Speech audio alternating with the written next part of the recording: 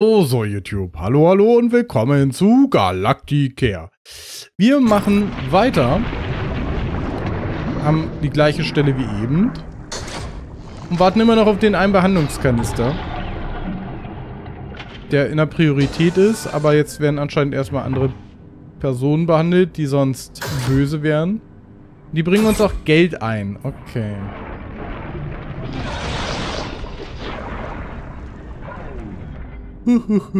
Vielleicht wäre ein zweiter Behandlungsraum halt sinnvoll.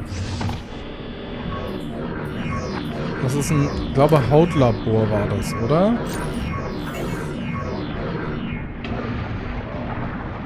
Dreimal vier braucht es. Ähm, ich habe nicht mehr unendlich viel Platz, ne? Wir wissen, Wege müssen zwei lang sein.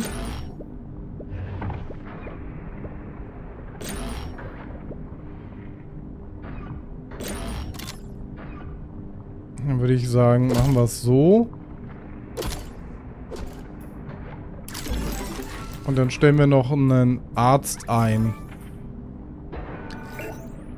Äh, Maximum. Was macht der Maximum? Der klaut uns nur Credits. Aber Personen in der Nähe sind zufriedener. Das klingt doch gar nicht schlecht. Oder Pokalolo. Aber der beschädigt Dinger. Ne, wir stellen Maximum ein. Komm, Maximum darf bei uns arbeiten. Und dann brauchen wir noch ein paar Sitzbänke.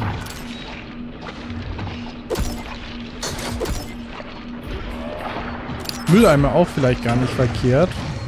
Ich hatte da einen. Hier hinten fehlt noch ein Mülleimer, glaube ich.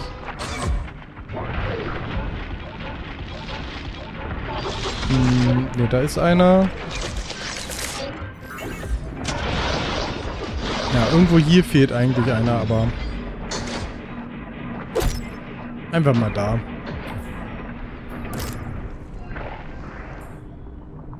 Okay, die Kanister sind fertig. Entsende das Shuttle.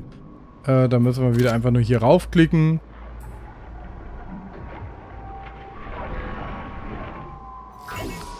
Ah, okay, der fliegt dahin. Das ist so ein bisschen der Weltraumwahl auf, weiß nicht, Pirat oder so. Erinnert mich an irgendwas. Medizin war Volltreffer. Juckreiz ist er los. Super. Er sammelt Dinge. Okay, und wir kriegen irgendeine Belohnung. Stabilisierungslösung. Zögert den frühzeitigen Tod hinaus, sodass der Patient mehr Zeit zur Behandlung hat. Kann Haarausfall verursachen. Okay. Kriegen Credits, Koloss-Einfluss und Kraftium. Und erst einmal weg. Und wir haben einen Weltraumwal geheilt. Alles klar.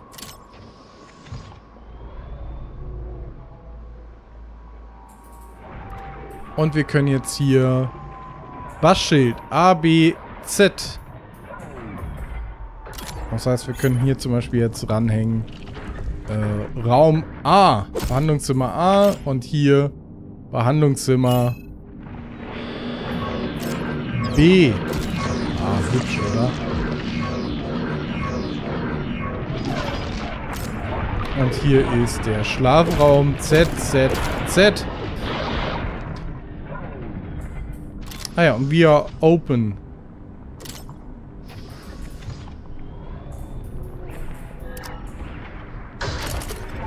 Hier kann ich Stabilisierungslösung kaufen. Aber das kann ich dann nur direkt auf Patienten anwenden, zum Beispiel auf ihn.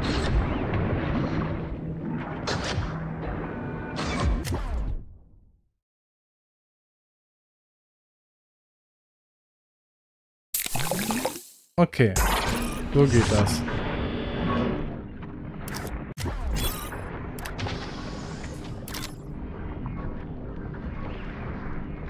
Klinikwertung aufrufen. Okay, Bereich mit wenig Deko, Bereich ohne Deko. Ähm, und da können wir die Sachen erhöhen. Finanzen sieht nicht so gut aus. Durchsatz, Gesundheit. Alles klar, alles klar. Aber da gibt es sehr gute Statistiken, das gefällt mir schon mal gut. Also das Spiel macht ein paar Sachen besser, indem es mehr Hinweise einem gibt, was man verbessern kann. Schulungsmatrix. Ähm, Schulungsraum. Äh, 10.000. Ah, kaufen wir. Wir haben das Geld ja. Das wird die Finanzen freuen. Und an einen Schulungsraum. 3x3. Ähm...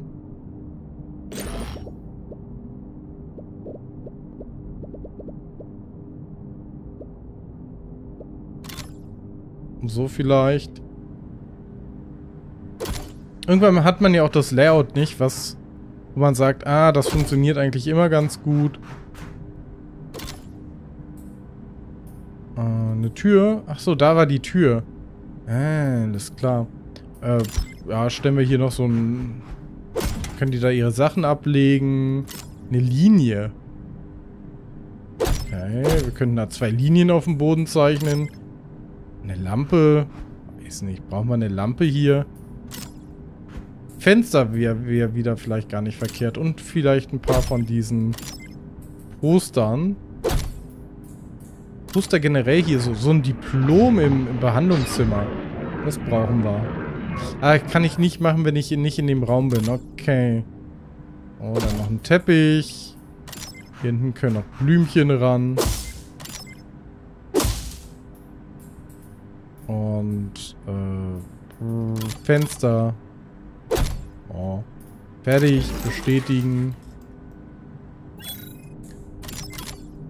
Okay, ein Arzt einen Schulungsraum zuweisen.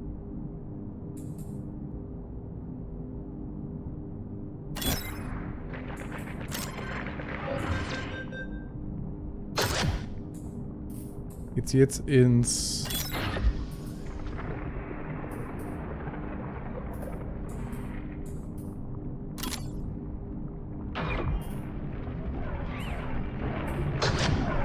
mache ich denn das? Eigentlich müsste ich sie anheben. Ah, genau. Ich müsste sie anheben und daran setzen.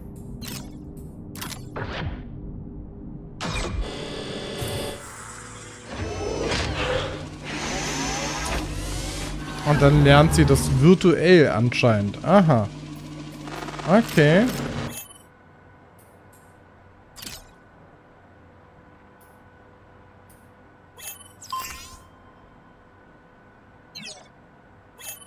Okay, und Bass kommt jetzt vorbei und bietet uns Sachen an. Effizienzregulator. Lässt einen Raumcredit generieren, wie Immobilie, die deine Großeltern damals für zwei Hühner gekauft haben. Wunderbar. Verlängert die Lebensdauer des Raumes deutlich durch spürbare Schwingungen. Mhm. Lockt Schädlinge in einem weiteren Umkreis an, um sie bei Berührung direkt zu töten.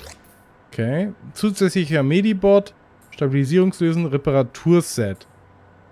Okay, ich würde fast sagen, ein Effizienzregulator. Kaufen wir.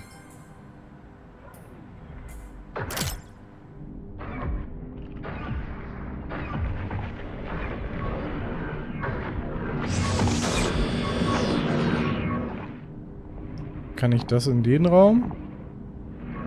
Den Raum? Dann stellen wir es nämlich da hinten hin.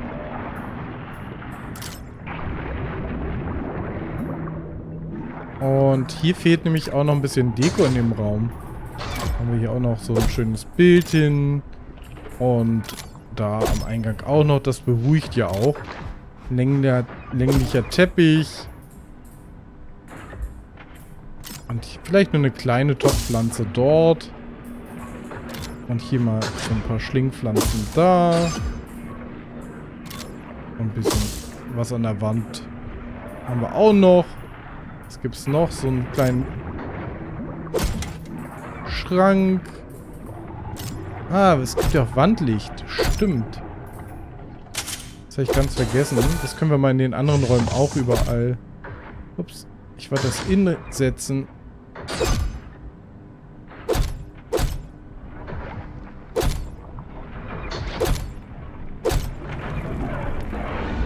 Wir haben schon Licht, dann kriegen wir hier noch ein Licht.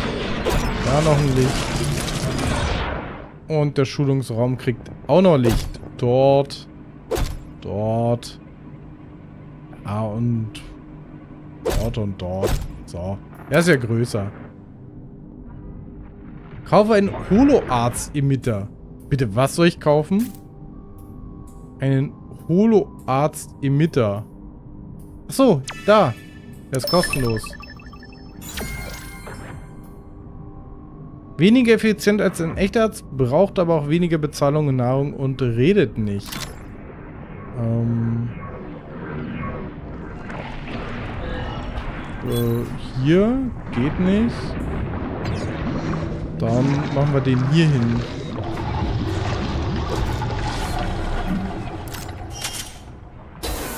Okay, es ist quasi ein KI-Arzt dann hier ab sofort drin. Ähm, das heißt, ich könnte dich nehmen.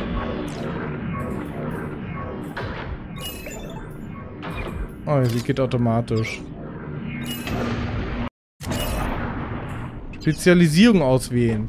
Okay, irgendein Arzt hat genug, um eine Spezialisierung zu kriegen. Das ist gut. Das ist sie wahrscheinlich.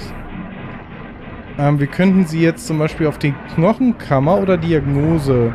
Würde ich sagen, sie geht eher auf die Diagnose.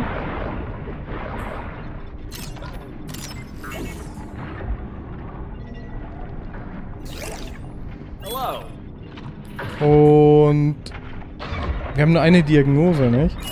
Dann gehst du auf... Was ist denn das Ding eigentlich? Hautlabor. Du auf Knochenkammer. Oha. Und... Was ist kritisch? Und du auch auf Diagnose. Dr. Maximum ist Diagnostiker geworden.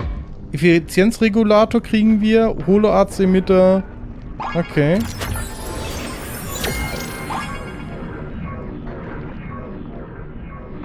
Wartezeit kritisch. Okay. Das ist gut, dass es das anzeigt in den Diagnoseraum. Ähm, werden wir noch einen hier hinsetzen. Warum ist das jetzt alles so ein Weg?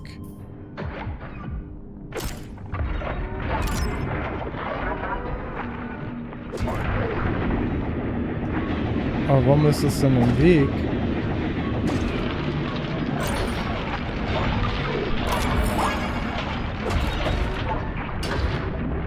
Äh,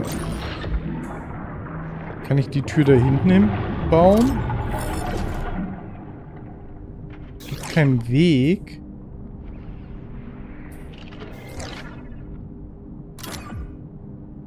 Weil die im Weg sind, oder was? Das kann doch nicht... Ach so, die Bank ist im Weg. Ah, die Bank ist im Weg. Okay, wartet mal. Okay, die Bank...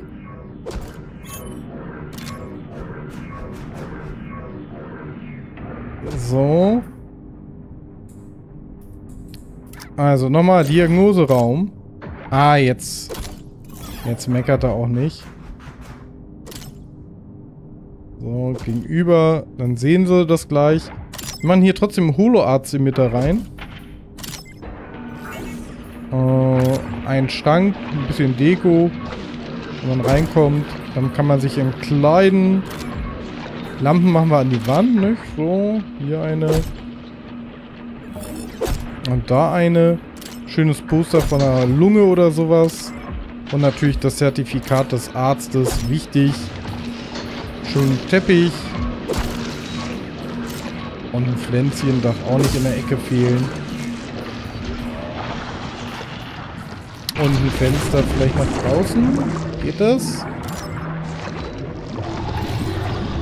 Nee, Fenster gehen anscheinend nur nach innen.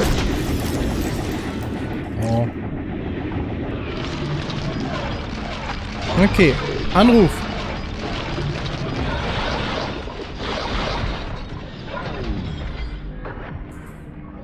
Dorian Salazar, CEO. Er redet mit dem Büro des Direktors. Wichtig und richtig. Bla bla bla. Selbstverständlich, wir schicken ihm einen Vertrag. So soll's sein. Und sein Shuttle kommt an. Personal unterwegs. Ja und? Das passt doch erstmal. Gucken wir jetzt mal hier, was der Holodoktor macht.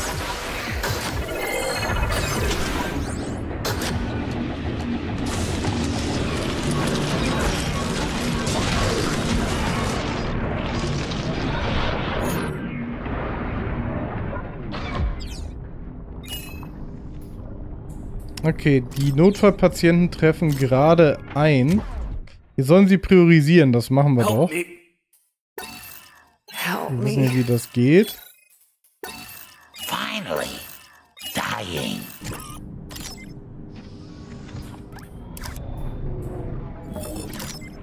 Okay, wir können uns da ein bisschen Zeit verschaffen.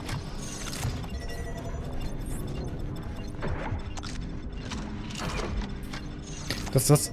Kann ich glauben, dass das die schnellste Geschwindigkeit ist.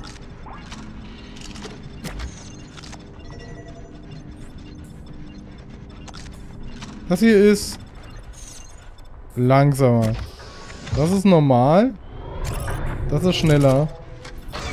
Könnte ruhig noch schneller laufen in meinen Augen. Ist sehr reduziert, nicht? Von der Geschwindigkeit. Okay, schüttel, schüttel.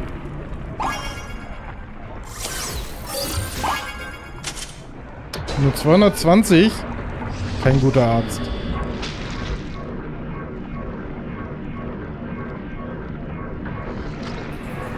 Was sagt denn unsere Wertung? Was? Fünf Bereiche ohne Deko.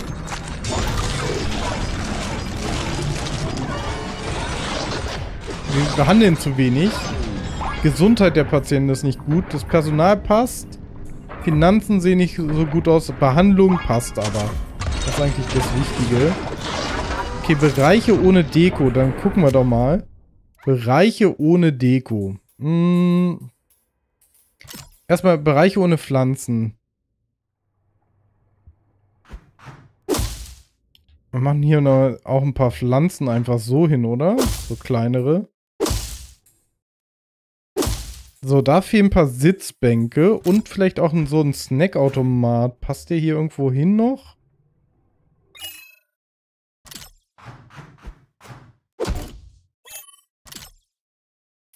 Die können eigentlich weg.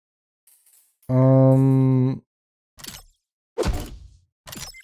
Ihr müsst leider ein bisschen nach vorne rutschen. Durst. Extremen Durst. Ich weiß nicht, ob der Durst macht oder löscht.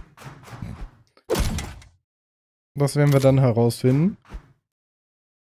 Ähm Hier passt nicht ein zweiter Sitzding hin. Das ist schlecht. Und so würden die wahrscheinlich nicht durchkommen. Ähm, ja, machen wir die da auf der Seite. Das ist schon okay. Ist das? Toilettenkapsel. Vielleicht hier hinten eine Toilettenkapsel in die Ecke.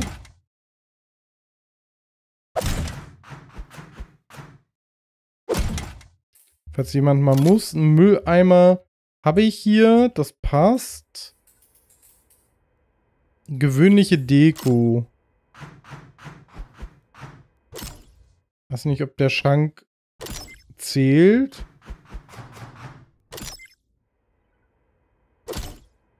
Aber anscheinend brauchen wir da noch ein bisschen mehr. Ah, hier habe ich gar keine Deko drin. Den habe ich vernachlässigt, den Raum. Kommt auch nochmal gewöhnliche Deko rein. Da haben wir zwar einen Schrank, aber stellen noch einen zweiten hin. Kann nicht schaden.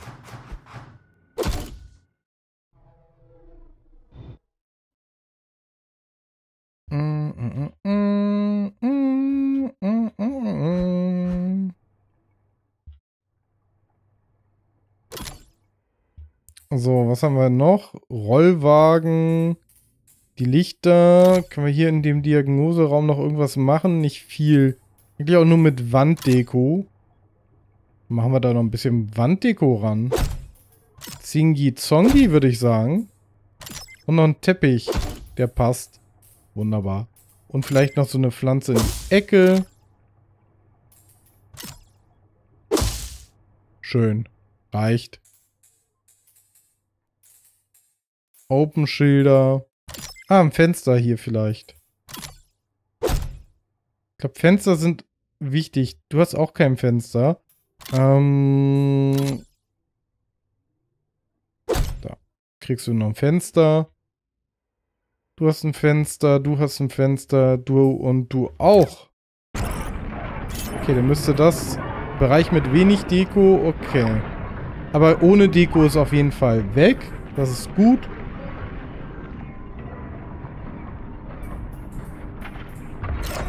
Das heißt, da sollten die Sternebewertungen erstmal hochgehen. Darauf können wir was trinken. Ich sage Prost.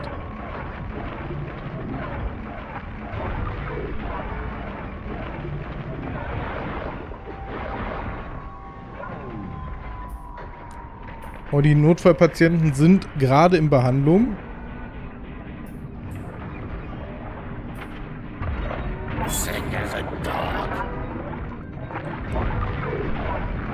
Okay, müssen alle Stufen durchlaufen.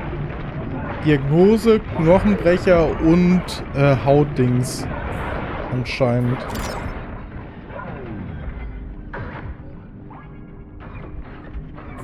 Okay, der Arzt, der uns seine Notfallpatienten geschickt hat, ist erstmal zufrieden. Zwei Patienten haben wir schon gerettet. Sie ist kurz vorm Sterben anscheinend und er auch, aber das ist grün, das ist rot.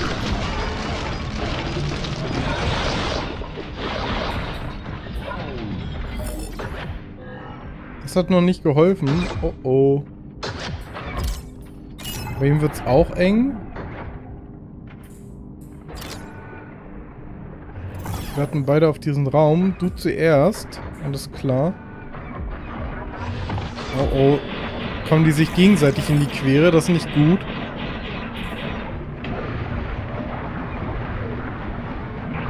Und du müsstest dann nachher geheilt sein. Nach diesem wunderschönen Säurebad.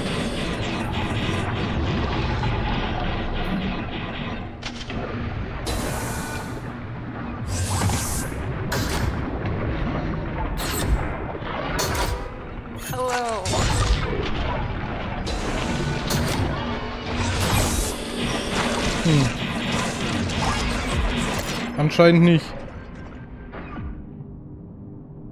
Ah, wir haben sie behandelt. Das reicht. Okay. Ich hoffe, er stirbt nicht auf dem Weg zum Shuttle, weil wenn das passiert, dann wäre blöd.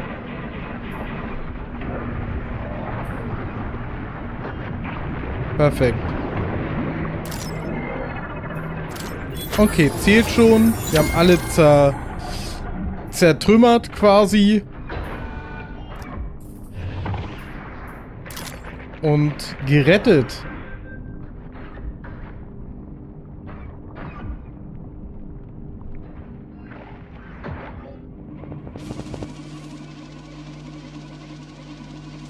Was passiert hier? Ist hier jemand?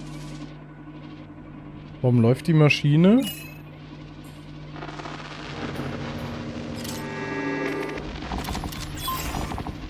Okay, wir kriegen für die Patienten auch Geld und Co und haben anscheinend den ersten Abschnitt geschafft. Sehr gut.